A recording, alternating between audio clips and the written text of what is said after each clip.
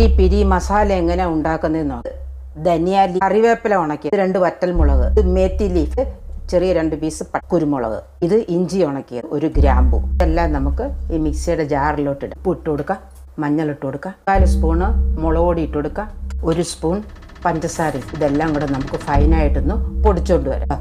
നമ്മളത് ഫൈനായിട്ട് പൊടി